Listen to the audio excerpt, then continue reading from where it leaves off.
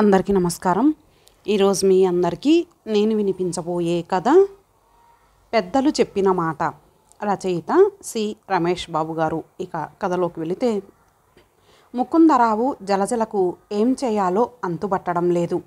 వారిద్దరూ తమ అమ్మాయి అఖిలతో పాటు మూడు నెలలు ఉండడానికి అమెరికాకు వచ్చారు. ఆ అమ్మాయికి ఒక బాబు వాడికి సంవత్సరంన్నర అప్పటికి అఖిల ఉద్యోగం మానేసి సంవత్సరంన్నర పైనే అయ్యింది. మళ్ళీ ఉద్యోగంలో చేరాలని ఆమె తాపత్రయం. ఇంట్లో బాబును చూసుకుంటూ అంట్లు తోముకోవడానిక? నేను ఇంత చదివింది. నేను పనిచేసేటప్పుడు నాకెంత గుర్తింపు ఉండేది? అదంతా పోయింది అని ఒకటే వాపోతోంది. అమ్మాయి కాన్పు సమయంలో జలజ వచ్చి ఆరు నెలలు ఉండి అన్నీ సవ్యంగా ఉన్నాయి అనుకున్నాక తిరిగి వెళ్ళారు. తర్వాత వియంకులు వచ్చారు. కానీ వియంకుడి ఆరోగ్యం అంత బాగా లేకపోవడం వలన తొందరగా వెళ్ళిపోయారు. అందుకే మళ్ళీ తన తల్లిదండ్రులను పిలిపించుకుంది అఖిల. ఇప్పుడు వాళ్ళు వచ్చి ఒక నెల అయ్యింది. వచ్చినప్పటి నుండి ఇద్దరూ చూస్తున్నారు అఖిల మనోభావాన్ని. అన్నిటికీ చిరాకు పడ్డం తనని తాను తిట్టుకోవడం అయినా నాకు ఇంతేలే అనే నైరాస్యపు మాటలు అనుకోవడం అప్పటికి జలజ గారు చాలాసార్లు సమాధానపరచడానికి ప్రయత్నించారు. కానీ ఒప్పుకోదే. నీకేమమ్మా? నువ్వు హౌస్ వైఫ్వి నీకు ఇలాంటి ప్రాబ్లం అస్సలు రాలేదు. వచ్చుంటే నువ్వు ఇలాగే అనుకునేదానివి ఖచ్చితంగా అనేది. కాలనీలో ఉన్న ఇండియన్ ఫ్యామిలీస్లో చాలామంది ఆడవాళ్ళు ఉద్యోగాలలో ఉన్నారట. వాళ్ళ ఇంటికి వెళ్ళినప్పుడు తనను చాలా తేలికగా మాట్లాడిస్తారని ఆమె అభిప్రాయం. వాళ్ళంతా వర్కింగ్ ఉమెన్ కదా. వాళ్ళు అవేవో మా వాళ్ళు మాట్లాడుతూ ఉంటారు. నేను ఇంకో ఆమె ఉందిలే ఆమె మాట్లాడుకుంటూ ఉంటాం. ఏదైనా కారణానికి ఆమె రాకపోతే నేను ఒక్కదాన్నే అయిపోతాను. విసుగొచ్చేస్తుంది అంటుంది. వాళ్ళ ఆయనకి ఇటీవల ఆఫీస్లో పని ఎక్కువైందని లేటుగా వస్తాడు. గంటన్నర డ్రైవ్ చేసుకొని వచ్చేటప్పటికి అలసిపోతాడు. ఇంట్లోని ఏ పనిని ముట్టుకోడు. బజార్కెళ్ళి సామాన్లన్నీ తనే తేవాలి. బాబును చూసుకోవాలి. పని మనుషులు దొరకరు. పాత్రలు తోముకోవాలి. ఇక వంట సరే సరి. ఇన్ని పనుల మధ్య తీరిక దొరికినప్పుడల్లా తన కెరియర్ గంగలో కలిసిందని బాధపడడం ఇదే వరుస రోజు. ఎన్నిసార్లని వినడం దంపతులిద్దరికీ విసుగొచ్చేసింది. ఒకరోజు బాబు పడుకున్న సమయం చూసుకొని అఖిలను ప్రత్యేకంగా దీని గురించి మాట్లాడాలని పిలిచారు. హాల్లో ఉన్న డైనింగ్ టేబుల్కి అటు ఇటు కూర్చొని చర్చ ప్రారంభించారు. ముందుగా జలజ ప్రారంభించింది. కాదే అఖిల వచ్చినప్పటి నుండి చూస్తున్నాము. ఉత్త విసుగు చిరాకు సనుగుడు. బాబు పైన కూడా విరుచుకుపడుతుంటావు. మీ ఆయనపై కూడా విసురులు. పాపం ఆయన మేమున్నామనో ఏమో నిన్నేమీ అనలేకుండా మొహం చిన్నబుచ్చుకోవడం ఎన్నోసార్లు చూశాం. ఎందుకు ఇలా చేస్తున్నావు? నీకేం తక్కువయిందని? అల్లుడు గారు మంచి మనిషి. బాబు పుట్టడానికి ముందు నువ్వు ఇండియాకు వచ్చినప్పుడు నిన్ను బాగా చూసుకుంటారని నువ్వేగా అన్నావు? మరి ఇప్పుడేమిటిలా? మీ అత్తగారు వచ్చినప్పుడు ఏమైనా మాటలన్నారా? డబ్బులకేమైనా కటకటగా ఉందా? ఏమిటి నీ సమస్య? మాతో కాస్త వివరంగాను ఓపెన్గాను మాట్లాడితే పెద్దవారుగా మాకు తోచిన సలహా ఇవ్వగలం. నువ్వు ఇలాగే కంటిన్యూ చేసావనుకో మేము వెళ్ళిన తర్వాత కష్టపడతావు అంతే. మేమైనా ఇంకో రెండు నెలలు ఉంటాం అంతేగా? చెప్పు ఏం జరిగింది? ఎందుకు అలా ఉన్నావు? అని నిలదీసింది. ముకుందరావు కూడా అవునమ్మా మనసులో ఉన్నది మాకైనా చెప్తే బాగుంటుంది అంటూ ఒత్తాసు పలికారు.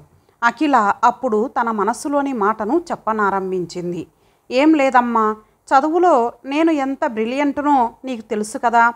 ఇంజనీరింగ్లోనూ మంచి మార్కులు క్యాంపస్ సెలక్షన్ వచ్చింది కదా. ఇక్కడికి వచ్చాక కూడా నాకు మంచి ఉద్యోగమే దొరికింది. జీతం కూడా ఆయనకు సమానంగానే వచ్చేది. అంతలో ప్రెగ్నెంట్ నవ్వడం కాన్పు బాబును చూసుకోవడం కోసం నేను ఆ ఉద్యోగాన్ని మానేయాల్సి వచ్చింది. ఇప్పుడు నేనేం చేయాలి చెప్పు? నా ఉనికే పోయినట్టుగా ఉంది. నీకు ముందే చెప్పాను చూడు. కాలనీలోని మన వాళ్ళందరూ తీసేసినట్టు చూస్తారు. వాళ్ళ మాటల్లోకి నన్ను రానివ్వరు. నాకైతే తల కొట్టేసినట్టు ఉంటుంది. నాకే ఎందుకమ్మా ఈ పనిష్మెంటు? పిల్లలు కావాలని ఇద్దరూ అనుకున్నాం కదా. మరి తనకేమీ ఈ బాధలుండవా? తనేమీ ఉద్యోగం వదిలిపెట్టలేదే? పైపెచ్చు పని ఎక్కువైందని లేటుగా వస్తాడు. ఇంట్లో పనంతా చేసుకోవాలి. బాబును చూసుకోవాలి. సరుకులు తెచ్చుకోవాలి. అంత ఇంజనీరింగ్ చదివి నేను మిగతా అందరి హౌస్ వైఫుల్లాగా అంట్లు తోముకోవాలా? అంటే నా తెలివంతా ఈ పనుల మధ్య గడిచిపోవాలా? తనకేం బాధ్యతలు లేవా? మళ్ళీ నేనెప్పుడు జాబ్కి వెళ్ళేది వంశీ ఏమో మొన్న ఎవరింటికో వెళ్ళినప్పుడు వాళ్ళ ఇంట్లోని ఇద్దరు పిల్లల్ని చూపించి మనం కూడా బాబుకు ఒక కంపెనీ ఇవ్వాలి అఖిల అంటూ నా వైపు చూశాడు. నాకు ఒళ్ళు మండిపోయిందనుకో. అంటే ఇక నేను ఇప్పుడు ఇంతేనా? ఇప్పుడు చెప్పండి నేను ఇలా ఫీల్ అవుతోంది సమంజసమా కాదా? నాలా ఉన్న ఒకరిద్దరితో మాట్లాడాను. వాళ్ళు కూడా నాలానే ఏదో కోల్పోయినట్లే ఫీల్ అవుతున్నారు తెలుసా? అని చెప్పి వీళ్ళ వైపు చూసింది. ముకుందరావు జలజ ముఖాముఖాలు చూసుకున్నారు. అఖిల వైపు నుండి అయితే వాదన సరిగ్గానే అనిపించింది. కానీ అలాగని ఆమెని ఊరడించబోతే పెళ్ళికే మోసం వస్తుంది. చేయకపోతేనేమో అఖిల ఇలాగే డిప్రెషన్లోకి వెళ్తుందేమోనని భయం పట్టుకుంది. సరేనమ్మా మేమిద్దరం నీ సమస్యలను చర్చించుకొని రేపటికల్లా నీకు ఏం చేయాలో చెబుతాం. మీ అత్తగారు ఉన్నప్పుడు కూడా ఇలాగే చిరాకు పడ్డావా అని అనుమానంగా అడిగింది జలజ. చ లేదమ్మా. అయినా అప్పుడు బాబు చిన్నవాడు. ఇంత అల్లరి చేసేవాడు కాదు. అత్తగారు వాడిని పట్టుకుంటే నేను హాయిగా రెండు గంటలు నిద్రపోయేదాన్ని. అదిగాక నాకు ఆపరేషన్ అయింది కదా. దాని నొప్పులే చాలా ఉండేవి. చాలా మటుకు మా ఆయన అత్తగారే బాబును చూసుకునేవారు. అప్పుడు వంశీకి ఇంత పని ఉండేది కాదు. సాయంత్రం ఆరు కల్లా వచ్చేసేవాడు. ఈ మధ్యే బాగా బిజీ అయ్యాడు అంది అఖిల. ఫోన్లే గుడ్డిలో మెల్లమేలు అనుకుంటూ నిట్టూర్చింది జలజ. ఇంక మిగిలిన రోజుని రోజులానే చిరాకుల సనుగుళ్ళ మధ్యనే గడిపింది అఖిల. దాన్ని చూస్తూనే తాము కూడా గడిపారు దంపతులు. ఆ రోజు రాత్రి ముకుందరావు జలజలు ఈ సమస్యల గురించి చర్చించుకున్నారు. సమస్యల రెండు కోణాలను పరిశీలించుకొని మరుసటి రోజుకు సిద్ధమయ్యారు. క్రితం రోజులాగే డైనింగ్ టేబుల్ సిట్టింగ్ జరిగింది. అఖిల జవాబు కోసం ఎదురు చూస్తున్నట్టు ముఖ కవలికలే చెప్తున్నాయి. జలజే మొదలుపెట్టింది. చూడమ్మా నీ సమస్యల్లోని సారాంశమంతా నీ కెరియర్ పోయినందుకే అనిపిస్తోంది మాకు. నీకు కూడా ఇండియాలో మాదిరిగా ఉదయం నుండి సాయంత్రం దాకా బాబును చూసుకునే ఒక ఆయా దొరికి నువ్వు జాబ్లో జాయిన్ అయ్యి ఆఫీస్ నుండి ఇంటికి వస్తుంటే నీకు ఈ రకమైన డిప్రెషన్ వచ్చేది కాదు అవునా? అంది. అందుకు అఖిల ఇక్కడ అలా దొరకరనేగా ప్రాబ్లం ఇక్కడ జ్ఞానీలు దొరుకుతారు కానీ చాలా కాస్ట్లీ అంది. జలజ అందుకొని అదే చెప్తోంది ఇప్పుడు నువ్వు బాబుని స్కూలుకు ఎప్పుడు చేర్చవచ్చు? అని అడిగింది. పద్దెనిమిది నెలల తర్వాత డే కేర్లో వేయవచ్చు. దానికి కూడా నెలకి వెయ్యి డాలర్లు కట్టాలి. అందుకే రెండో సంవత్సరం వేద్దామని అంటున్నాడు వంశీ. దాని తర్వాత అయినా వాడిని దింపి రావడం మళ్ళీ తీసుకురావడం అంతా నేనే చేయాలి. కాకపోతే లిమిటెడ్ అవర్స్ జాబ్ చూసుకోవచ్చు. కానీ అలాంటిది నా క్యాలిబర్కి తగ్గ జాబ్గా ఉండదు. జీతం కూడా తక్కువే అంది అఖిల.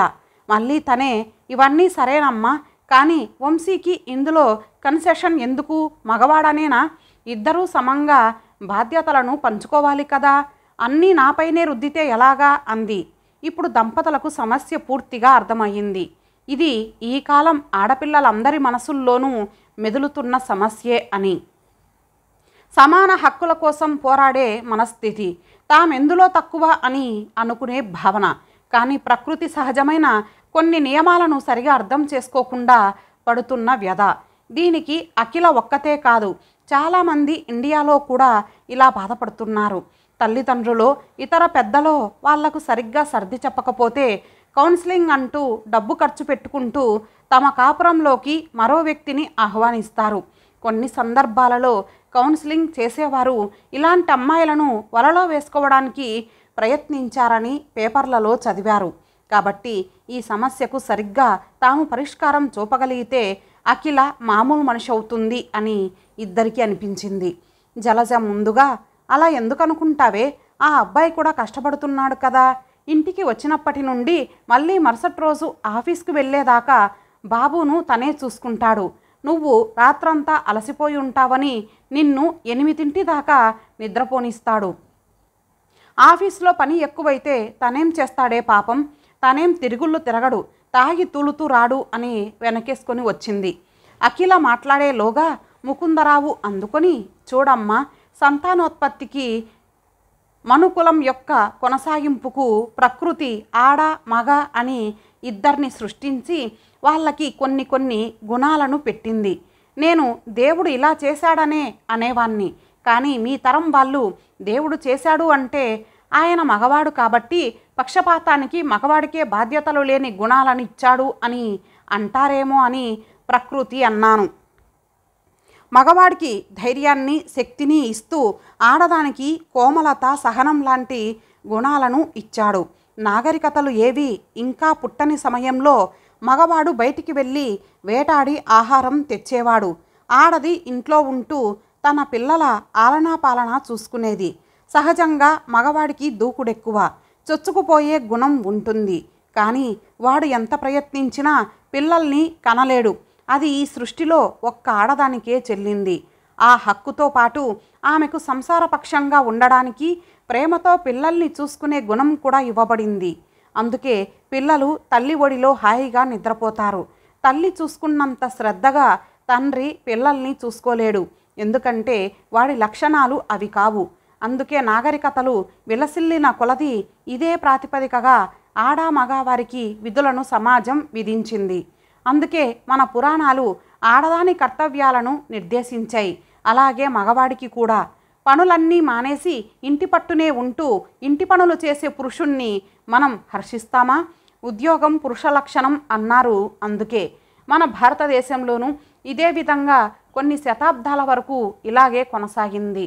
మన దేశం ఇతరుల పాలన క్రిందికి వచ్చాక మన సమాజంలో మార్పులు వచ్చాయి. మనం పాశ్చాత్య పోకడలకు అలవాటు పడ్డాం. అక్కడ కూడా కొన్ని శతాబ్దాల క్రితం ఉన్న చరిత్రను చదివితే ఇదే రకమైన కుటుంబ వ్యవస్థ కనిపిస్తుంది. కానీ ఆడపిల్లలను వంటింటి కుందేలుగా చూస్తున్నారు. వారిని అనగదొక్కుతున్నారు అనే నినాదం వచ్చాక మహిళా సంఘాలు మహిళా దినాలు వాడుకలోకి వచ్చాక మనందరి దృక్పథం మారిపోయింది. ఆడపిల్లలు చదువులకు వెళ్ళారు. అక్కడక్కడ ఉద్యోగాలు చేశారు. కానీ ఈ పాతికేళ్ళలో ఐటీ రంగం విజృంభించి సమాజంలోని అందరికీ సరిపడా ఉద్యోగాలు కల్పించడంతో ఆడ మగ అందరూ ఉద్యోగాలలోకి దూకారు. ఇద్దరూ కష్టపడసాగారు. అప్పుడు ఇంటి పనులు పూర్తి చేసుకోవడంలో వంతులు వేసుకోవాల్సి వచ్చింది. ఆడవాళ్ళకు ఇలా లభించిన స్వాతంత్ర్యం వలన తాము ఎందుకు వంటింటి పనులు చేయాలనే అభిప్రాయం రాసాగింది. దీని నుండి కలిగిన పర్యవసానం ఏమిటో తెలుసా? ఆడవాళ్ళకి ఆడగుణాలు తగ్గాయి. అలాగే మగవాళ్ళకి మగ లక్షణాలు తగ్గాయి. అందుకే సహజంగా జరగవలసిన గర్భధారణ కష్టమై ఫర్టిలిటీ సెంటర్ల సహాయం తీసుకుంటున్నారు. మగవాళ్ళలో కూడా మగతనం తగ్గిపోతోంది. నువ్వు సమాన బాధ్యతల కోసం ఆలోచించడానికి ముందు ఇవన్నీ కూడా ఆలోచించాలమ్మాయి అన్నాడు. జలజ అందుకొని నాకు ఈయనంత తెలియదు కానీ ఒక్క మాట చెప్పవే. బాబు నీ దగ్గర ఎడవకుండా ఉంటాడా లేదా? మీ ఆయన దగ్గర? అఖిల వెంటనే ఆ నా దగ్గరేనమ్మా అంది. అందుకే చెప్పేది. మాతృత్వం అనేది ఒక వరమే పిచ్చి. ఈ బాబుకు పెళ్ళైన తర్వాత కూడా అమ్మను చూసుకున్నంతగా నాన్నను చూసుకోడు. నాన్న అనే మనిషి ఎప్పుడూ బయటివాడుగానే ఉంటాడు. ఆయన పనంతా సంపాదించి తెచ్చి పడేయడమే.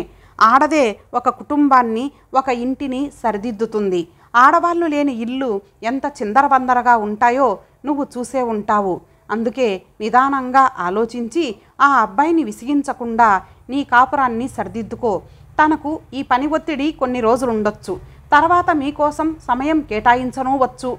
ఇప్పుడేమైనా నువ్వు ఆయన మనస్సుని విరిచావనుకో తర్వాత ఆ అబ్బాయి ఏ త్రాగుడుకో ఏ జూదానికో అలవాటు పడి ఇక ఇంటికి రావడమే కష్టమైపోతుంది. తర్వాత నువ్వు ఎన్ని విధాలా ప్రాధేయపడినా ఫలితం ఉండదు. ఆ అలవాట్ల మత్తు అలాంటిది.